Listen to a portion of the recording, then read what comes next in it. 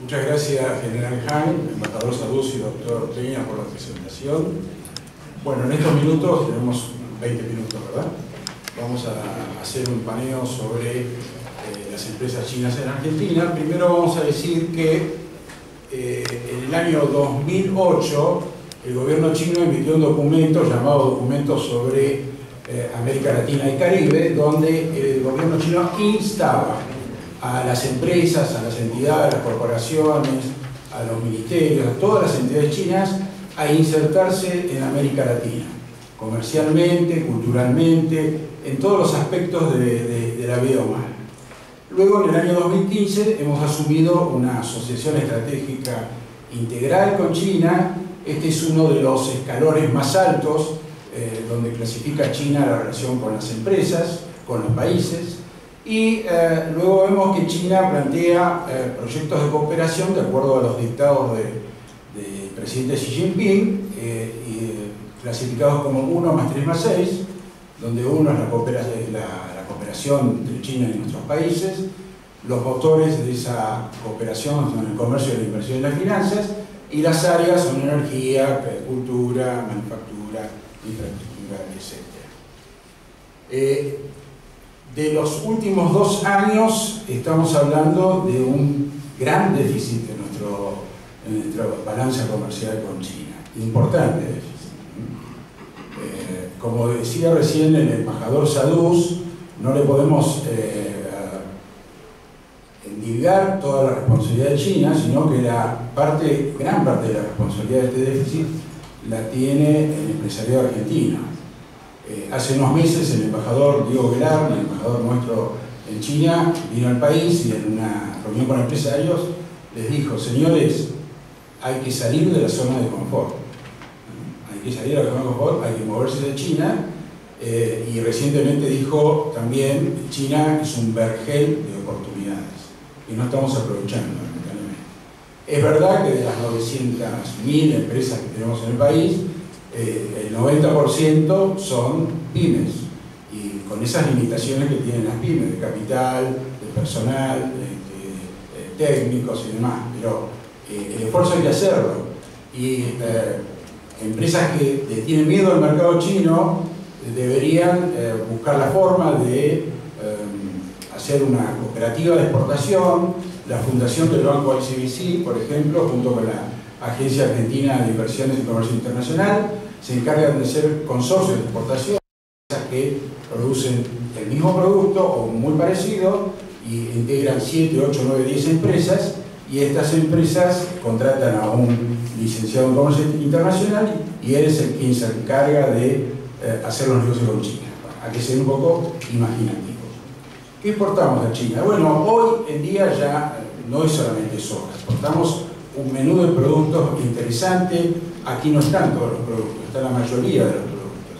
Y no todo es soja y no todo es vino.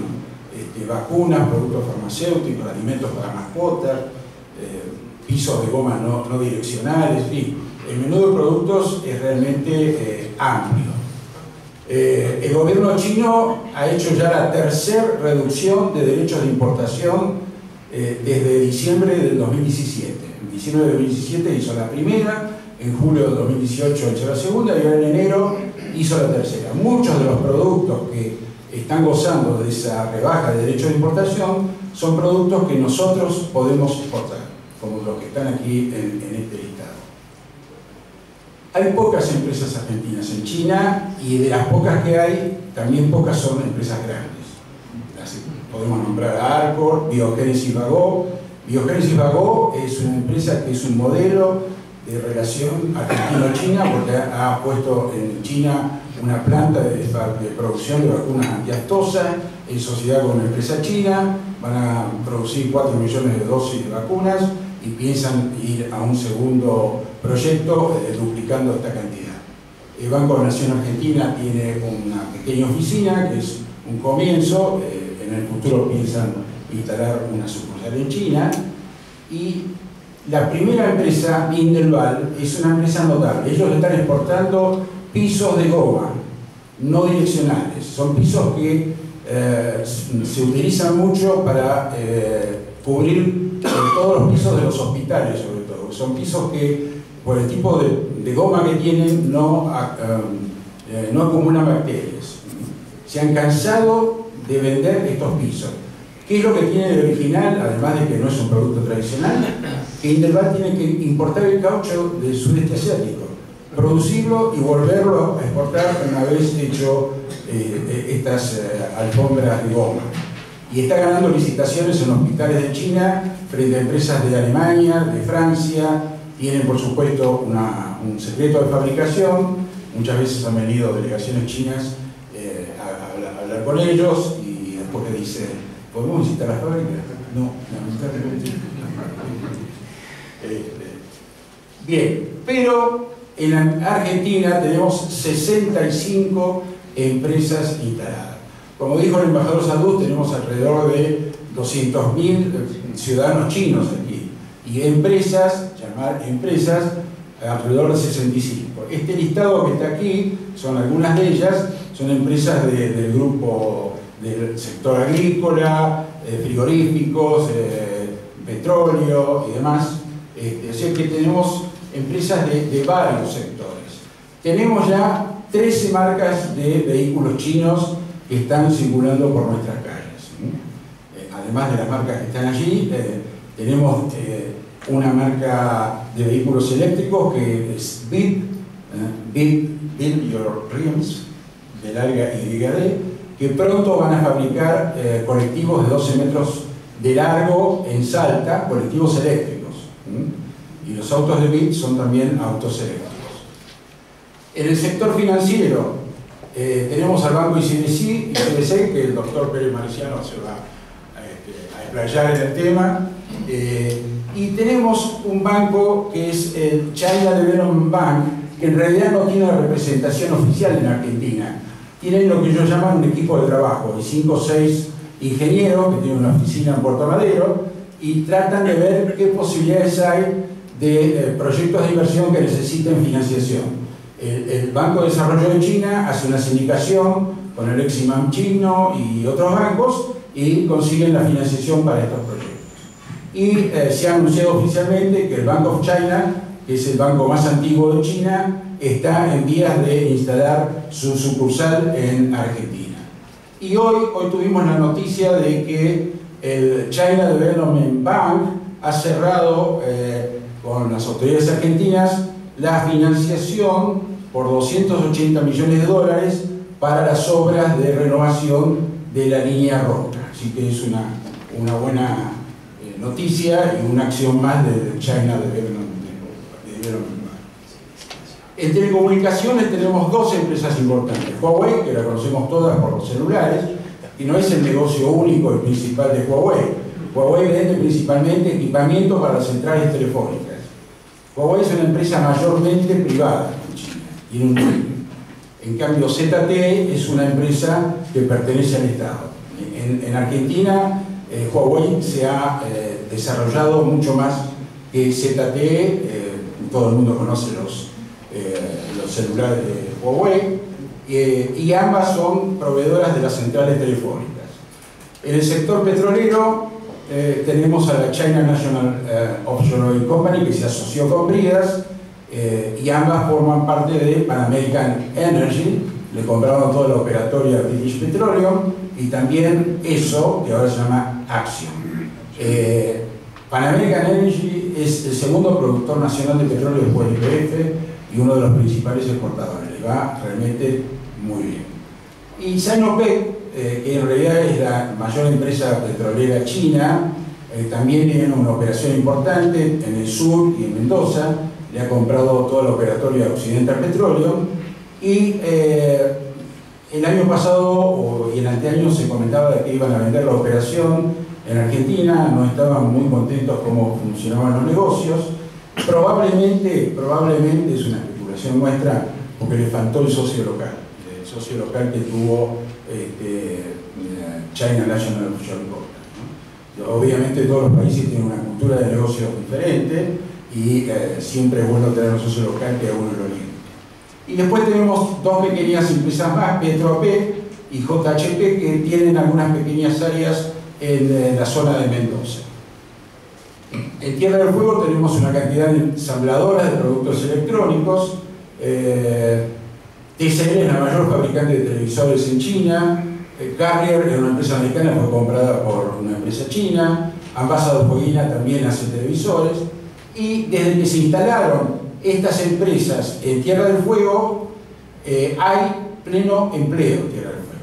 Yo tengo un amigo que tiene una pequeña estancia cerca de Ushuaia y un día nos encontramos y dice, mira, estoy preocupadísimo, no tengo peones. Tenía tres peones y los perdí. ¿Cómo? Dice, patrón, nos vamos a trabajar a la electrónica, dice, porque nos pagan mal y estamos bajo techo. Así que este, ha traído eh, mucho trabajo para Tierra del Fuego. Eh, sé que últimamente eh, la cosa no andaba tan bien, pero de todas maneras este, fue un desarrollo muy importante el, que se hayan instalado estas empresas en Tierra del Fuego. Atrajo también a trabajadores de otras provincias.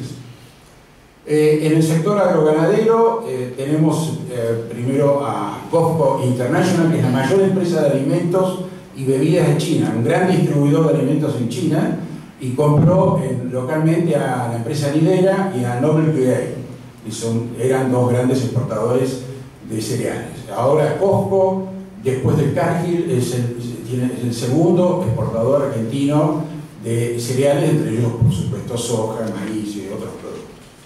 Eh, la Muralla China es una empresa formada por chinos que viven en Argentina y chinos que han venido de su país, que compraron este frigorífico en Corrientes, que era un frigorífico que estaba cerrado eh, y ahora lo han reactivado. Y Forest Group es un grupo importantísimo de eh, frigoríficos chinos que han comprado estos cuatro frigoríficos que están eh, listados aquí. Compañía Central Pampeana es una cosa interesante.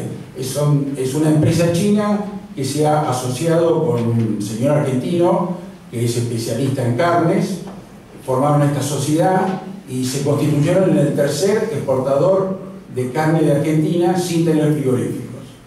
Ellos hacen producir la carne de acuerdo a lo que eh, necesitan a tres frigoríficos argentinos y son los exportadores. Se viene la trazabilidad.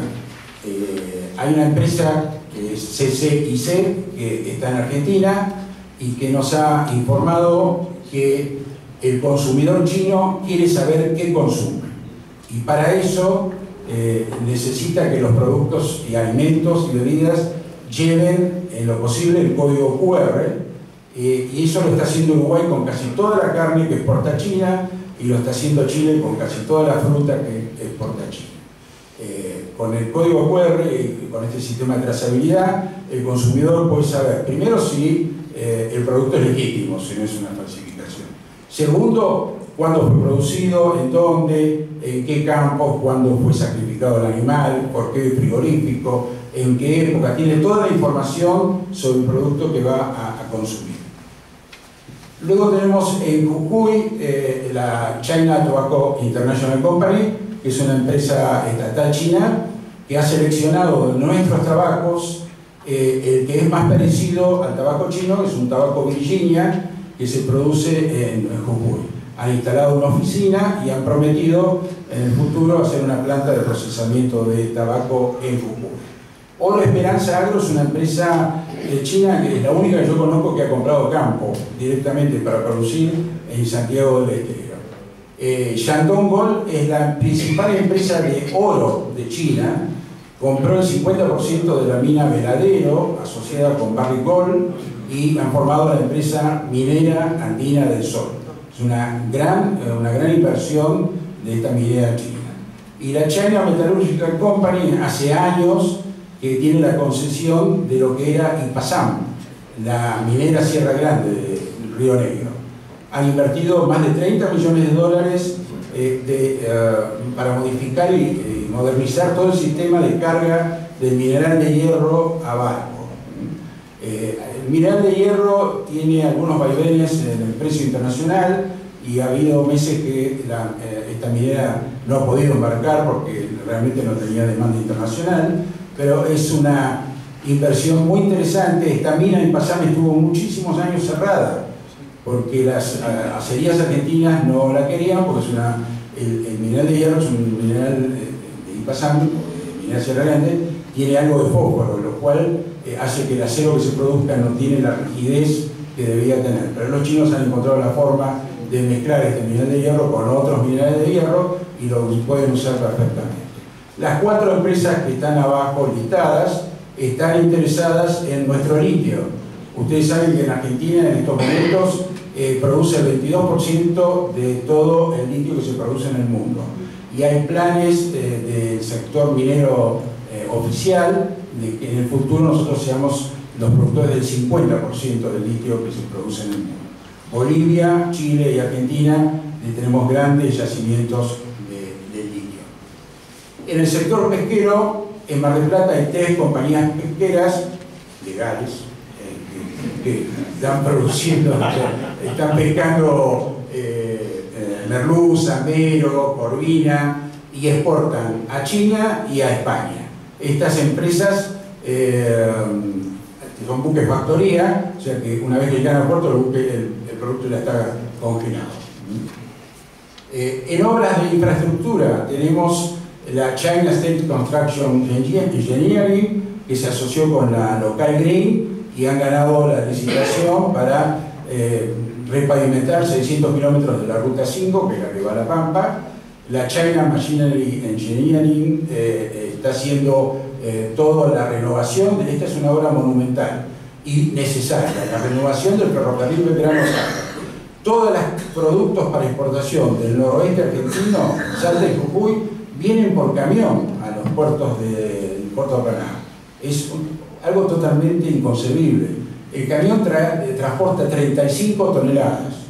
Eh, una formación ferroviaria puede transportar 1.400 toneladas cuesta más traer un producto del norte al puerto de Buenos Aires que el flete a China. Es una cosa que no, tiene sentido. O sea esta obra es fundamental para el país, son casi mil kilómetros, eh, están renovando vías, comunicaciones, señales, todo lo necesario para que funcione muy bien este ramal ferroviario.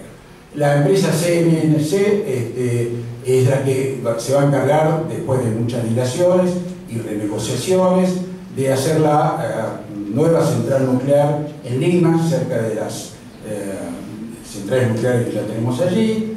Y China Power está construyendo en Jujuy, a 4.000 metros de altura, el parque solar Caucharí.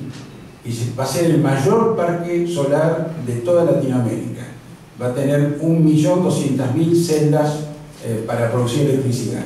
Es tan importante este parque solar Caucharí que una vez que esté terminado y, que esté en funcionamiento, le va a reportar a la provincia de Jujuy 50 millones de dólares por la venta al sistema interconectado nacional del excedente de energía que Jujuy no utilice. Así que eh, la inversión realmente es importantísima. Eh, y en el sur tenemos varios eh, parques eólicos, aprovechando los vientos fuertes que tenemos en nuestra Patagonia. hay la empresa Queyouba, con dos socios locales, están haciendo las represas hidroeléctricas en Santa Cruz, que van a aportar casi el 5% del consumo nacional de electricidad. Eh, la China Harbour Engineering con la empresa Servi Magnus, que es del grupo Román, hizo el grado de canal de acceso al puerto de Buenos Aires.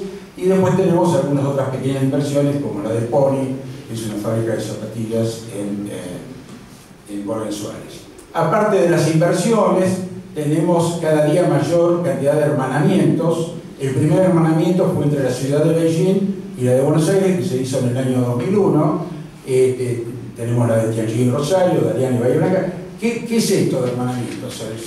Se, reúnen eh, los intendentes de las ciudades, este, firman un convenio de ayuda mutua, pero lo que tiene interesante es que después se producen visitas mutuas y esto va provocando un clima eh, de amistad y seguramente eh, de negocios. Entonces es interesante lo cultural, traen los negocios, los negocios también traen un aumento de las cosas culturales. bueno, esto es la estación de exploración espacial, china, se han escrito páginas y páginas a favor y en contra.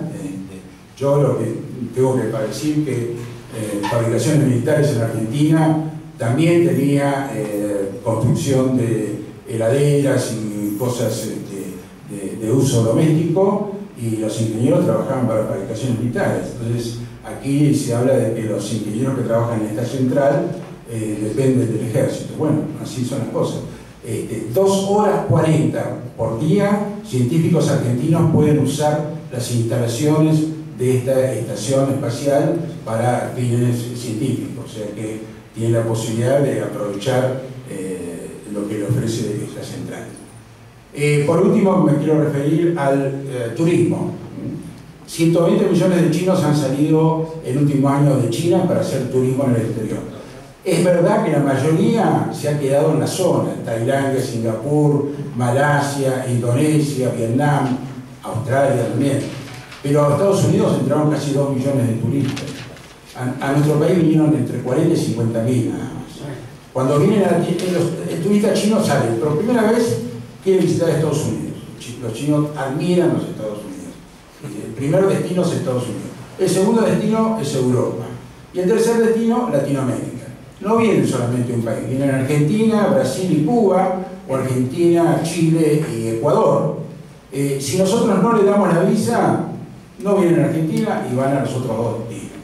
Se ha mejorado en cuanto al otorgamiento de visas a los turistas chinos, pero todavía el sistema adolece de algunos defectos. El IMPROTUR, que es un organismo de promoción del turismo de Argentina, está haciendo publicidad en las redes sociales chinas y ya se eh, observa un rebote, mayores consultas eh, de las eh, compañías de turismo china acerca de las posibilidades de venir al país. Hasta ahora los destinos preferidos de los turistas chinos son Calafate, Ushuaia y Cataratas del Iguazú, algún grupo que tiene algo que ver con el vino ha hecho la ruta del vino en Mendoza. Eh, las playas no se las podemos ofrecer porque a los chinos no les gusta tostarse, les gusta tener la piel lo más clara posible. Eh, el, el noroeste todavía no ha sido del interés, del interés de China, Salta y Jujuy, y bueno, este, veremos si en el futuro podemos ganar.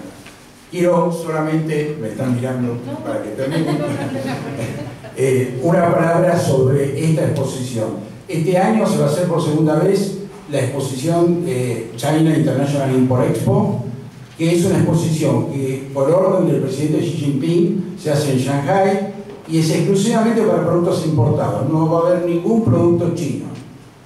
¿Y por qué? Bueno, el presidente Xi Jinping dice que debemos demostrar al mundo que no solamente exportamos, también importamos. Y hay una presión grande de las clases medias chinas que quieren comprar más productos importados. Alimentos, productos para distraerse, para entretenerse, calzado, ropa. Así que este año se hace por segunda vez. La Agencia Argentina de Inversiones y Comercio Internacional hace un gran stand, es muy barato para las empresas argentinas estar en el stand de, la agencia, así que eh, lo recomendamos. Muchas gracias.